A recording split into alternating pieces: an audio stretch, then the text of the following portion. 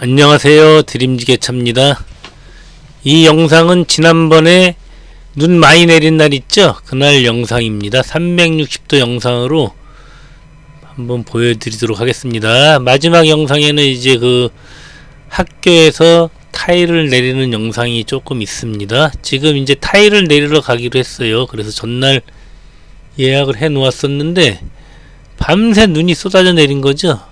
비로 바뀔 줄 알았는데 이게 진눈깨비처럼 내리면서 도로에까지 쌓일 정도였죠. 엄청난 눈이었습니다.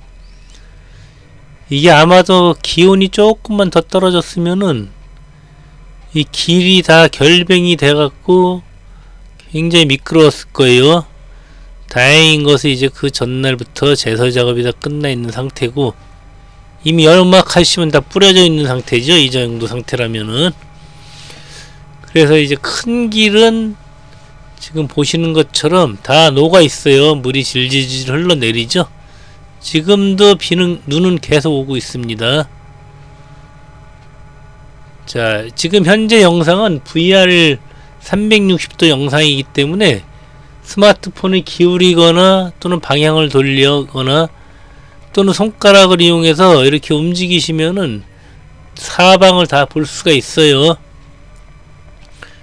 근데 이제 올해의 마지막 눈이 아닐까 싶어서 제가 360도 촬영을 했는데 요 카메라가 거치대가 이렇게 계속 지게차가 흔들리면서 가다 보니까 카메라가 눕더라고요. 누워버렸어요. 그걸 모르고 이제 현장까지 간 거죠. 뭐 지붕 위에도 눈이 엄청나게 많이 쌓여 있습니다. 한번 돌려보세요. 눈이 많이 쌓여 있습니다. 어쨌거나 이럭저럭 이제 가고 있는데 자 이렇게 돌려보면 다 이렇게 돌려볼 수 있죠? 자 이렇게 돌려보세요. 이렇게 저렇게 돌려보세요. 돌리면서 보는 겁니다. 지금 이것은 이제 원래 여기서 우회전을 해서 가게 되면은 거의 자동차 전용 도로처럼 속도를 내야 되는 도로거든요. 그 위험하죠? 지금 새벽에는 위험합니다. 깜깜할 때는. 그래서 일부러 조금 좀 지체되는 길이죠. 이쪽은 시내를 통과해서 갈 겁니다. 시내를 통과해서 가게 되면은 그 지게차가 환한 곳으로 가기 때문에 또 천천히 속도가 늦은 거, 느린 그 도로기 때문에 사고의 위험이 많이 줄어들죠. 그래서 주로 야간이나 새벽에 저쪽 도로를 통과하지 않고 항상 이쪽 도로를 통과해서 가고 있습니다. 야간에는 자동차 전용 도로처럼 속도를 내서 달리는 것은 많이 위험하죠.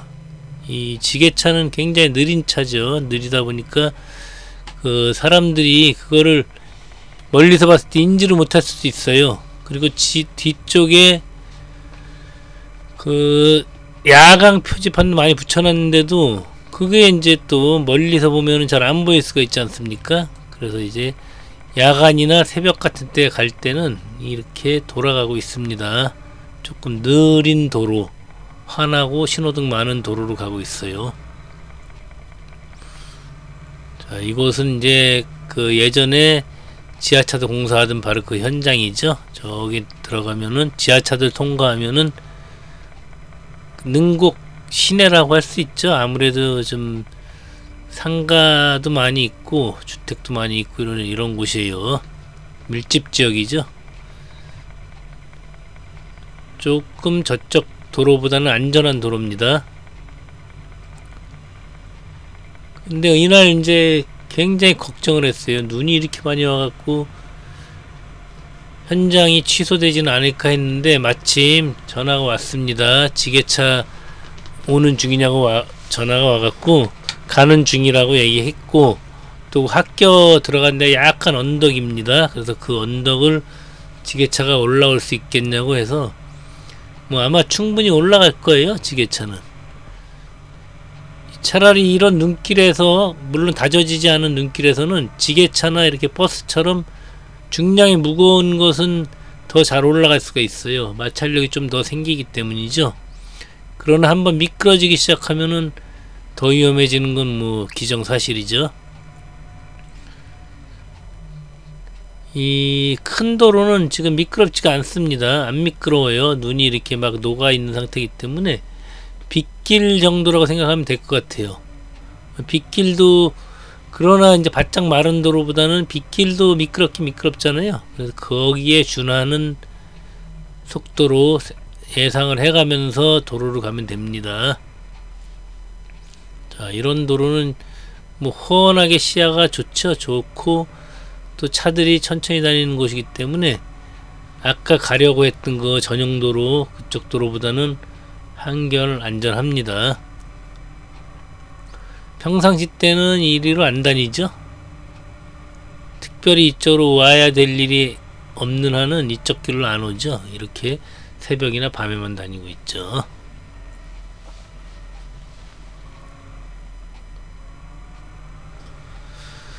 자, 그리고 이제 잠시 그 요금 이쪽이 고양시 고양 파주 쪽에는 지게차 요금이 인상이 됐죠. 8만 원씩으로 인상이 됐는데 약 90% 정도는 거의 문제 없이 요금이 잘 뭐 인상된 요금을 잘 받고 있습니다. 이제 간혹 기존 거래처 갔을 때 갑자기 바뀌면은 또 충격이 있으니까 오늘까지 그날 그날 시킨 날까지만 7만 원을 받고 다음부터는 8만 원을 받겠습니다. 이렇게 얘기를 해갖고 대부분 이제 지게차 요금이 이쪽은 다 정착이 됐어요. 벌써 금방 정착되죠.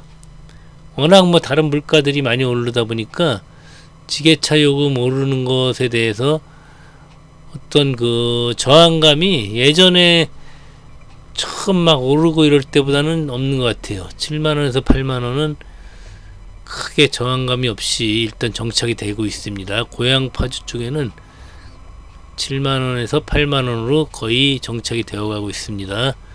아직 뭐 지게차를 인상 이후에 안 시키는 곳은 뭐 할 수 없지만 현재 정착이 되어 가고 있습니다.